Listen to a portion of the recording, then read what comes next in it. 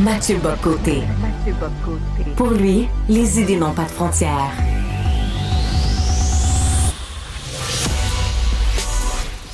Au contraire, les idées mènent le monde. Réflexion, observation, échange, critique, solution. Mathieu Bocoté. Alors, chers amis, bonjour, bonjour, bon matin, comme on dit quand de, la mauvaise formule. Alors, vous avez probablement vu passer ce- en fin de semaine un texte très, très important de Jean-François Lisée dans Le Devoir, mais qui a beaucoup circulé sur les réseaux sociaux. Euh, le texte de Jean-François Lisée avait pour titre Identité anti-québécoise.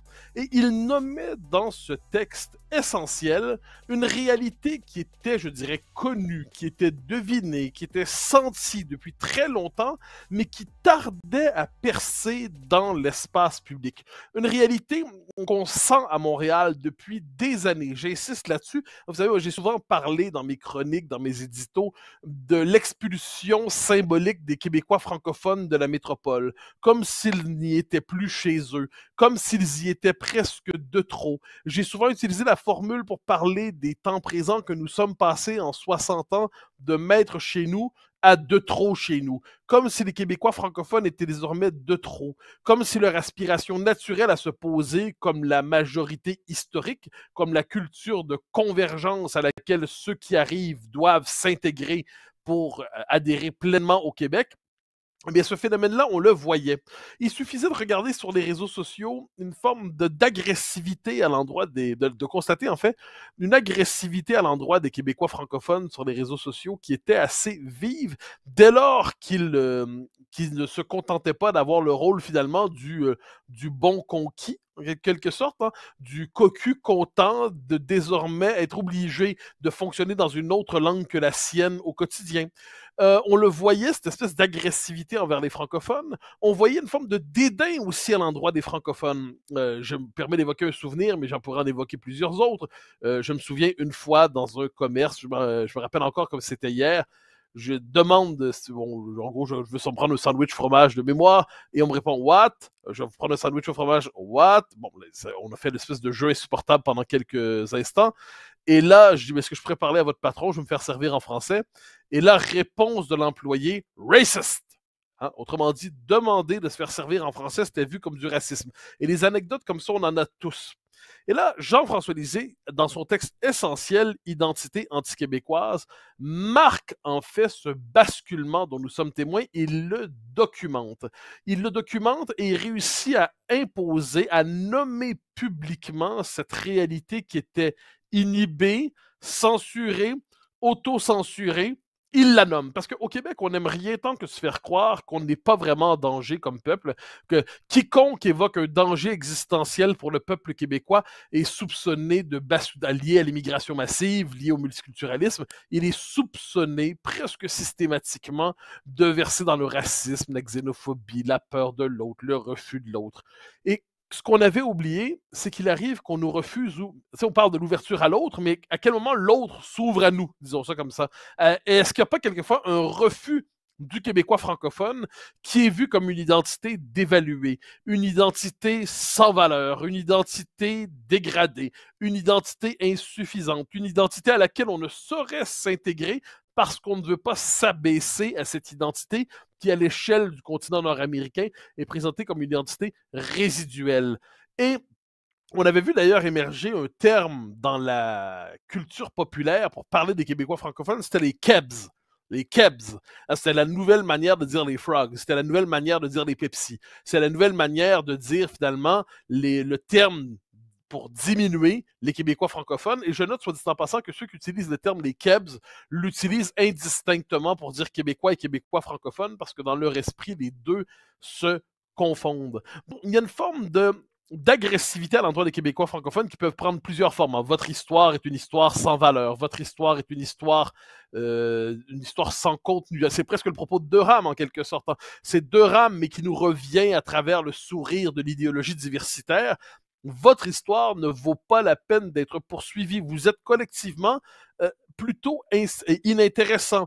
Euh, vos femmes sont des femmes légères, vous n'avez pas vraiment de valeur. Donc tout un vocabulaire assez méprisant à l'endroit des Québécois, des Québécois francophones depuis quelques années. Euh, il y a une scène qui est présente dans le très beau livre de Akosh Verbocci, euh, dis-je, Rhapsodie québécoise, qui est paru il y a peut-être une dizaine d'années au Boréal, qui nous racontait déjà cette scène. Il racontait la scène suivante à Koch Verbochi, qui lui-même est d'origine hongroise, qui s'est installé au Québec euh, lorsqu'il était jeune. Il nous raconte la scène suivante. Ça se passe à Côte-des-Neiges, dans une école euh, secondaire, et là, c'est l'espèce de fête interculturelle, et puis un groupe de danse, et puis là, ce groupe de danse fait des danses pour chaque communauté présente à l'école. Et qu'est-ce qui se passe? Eh bien, elles se font applaudir chaque fois. Et à la fin, à la fin de cette euh, séquence, eh bien, le groupe de danse fait dire bon, on va faire une, danse traditionnelle canadienne-française. Vous savez, bon, il y, a, quand même un peu, on est un peu au Québec, ça veut dire quelque chose. Et là, la salle euh, se lève et se met à huer, à rire, à être très agressive contre le groupe parce qu'il veut faire cette danse, cette fois l'honneur d'une des manifestations de la diversité qui serait celle du peuple d'ici, des Québécois francophones. Et là, euh, Akosh Verbocci nous racontait dans son livre qu'il y avait une très grande. Le directeur était révolté, puis il a fait le tour des classes pour dire Mais pour qui vous prenez-vous? Vous crachez sur la société d'accueil, en quelque sorte. Il y a quelque chose de terrible. Donc, on parle toujours du racisme. On est dans une époque qui s'inquiète beaucoup du racisme. Puis, avec raison, le racisme est une plaie de l'esprit humain, est une maladie de l'âme humaine.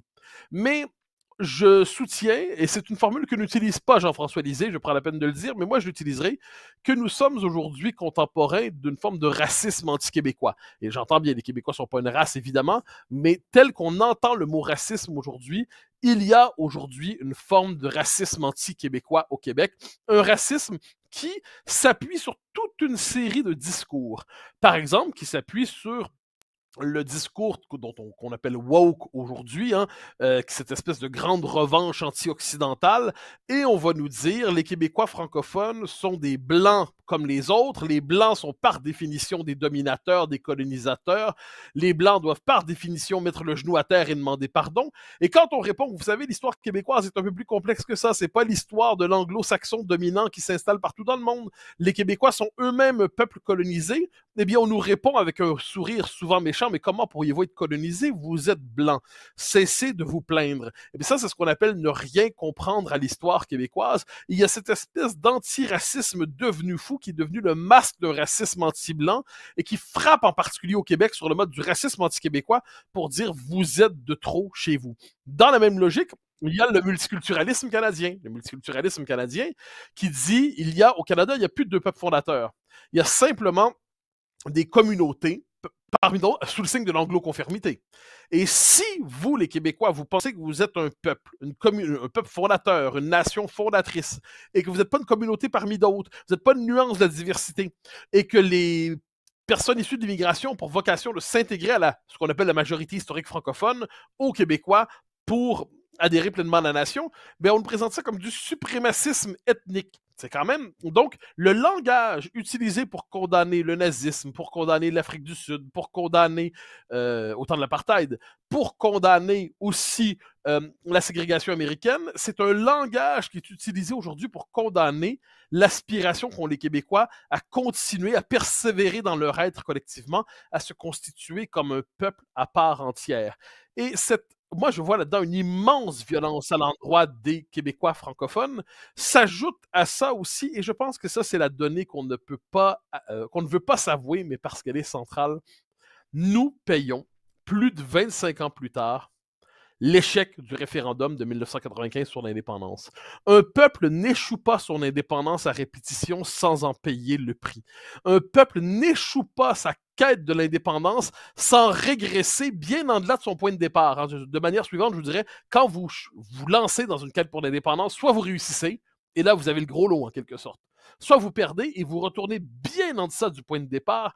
Et c'est ce qu'on voit. Donc, prenez tous ces éléments-là ensemble. le wokisme contemporain qui fonctionne sur le mode du racisme anti-blanc et qui culmine dans une forme de racisme anti-québécois parce que les Québécois sont vus en plus comme des blancs entre guillemets, mais en plus des, blancs euh, qui, euh, euh, on pourrait dire, s'attacheraient exagérément à une différence résiduelle en Amérique. Le multiculturalisme canadien, qui dit que globalement, dès lors qu'on se rappelle qu'on est un peuple, eh bien, on est dans le suprémacisme ethnique. La défaite référendaire de 1995 qui donne tous ses effets aujourd'hui.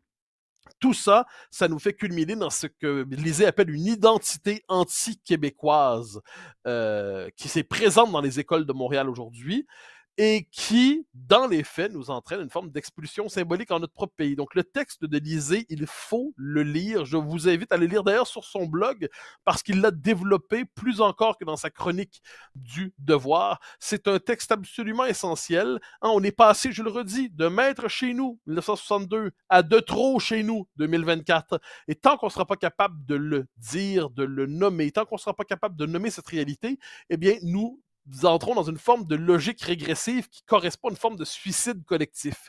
Les Québécois sont-ils capables? Ont-ils le désir? Ont-ils encore le ressort de ne pas se laisser? Ainsi expulsés symboliquement de leur propre pays. À l'échelle de l'histoire, je, pense qu'on peut le dire clairement, on vit une... Euh, puis il faut dire avec le contexte de l'immigration massive qui, euh, qui, qui, vient complètement déstabiliser démographiquement notre société, nos systèmes sociaux, nos systèmes de santé, notre système d'éducation, notre capacité d'intégration. Ça vient déstabiliser le tout. Et puis là, on oublie une chose, c'est que les Québécois sont un peuple fondamentalement accueillant. C'est un peuple qui tend la main, c'est un peuple qui ouvre les bras, c'est un peuple qui dit tire-toi une bûche, t'es le bienvenu, rejoins-nous mais rejoins-nous. Viens pas nous dire qu'on n'est pas chez nous. Rejoins-nous, puis il y aura une place pour toi, puis tu vas nous amener quelque chose, puis on va te donner quelque chose, puis au final, à travers tout ça, il y aura une aventure qui va se nouer. Notre peuple a été capable, au fil de l'histoire, d'accueillir, il a été capable d'intégrer. Et toujours insuffisamment, hélas, parce qu'on n'a pas le plein contrôle de nos institutions politiques, de nos institutions sociales, de nos institutions symboliques, mais on était capable, au fil de notre histoire, d'accueillir.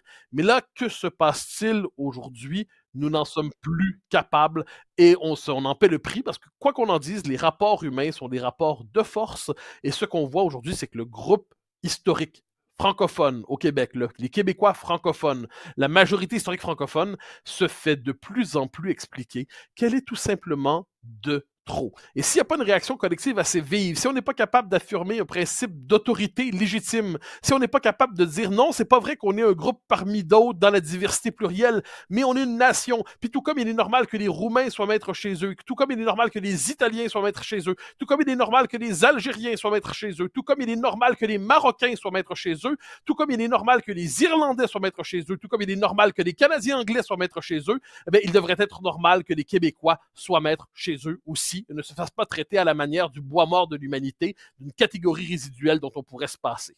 Chers amis, c'était l'éditorial sur un seul thème, je le reconnais, mais qui était vraiment frappant. Lisez ce texte, lisez ce texte de Lisée. C'est un texte absolument important et on en aura l'occasion d'en reparler assurément. Et on va même pouvoir en reparler avec notre premier invité dans quelques instants, Gabriel Coulombe, qui est professeur au cégep de Garneau et qui voit une autre facette de cette crise. On se revoit dans quelques secondes.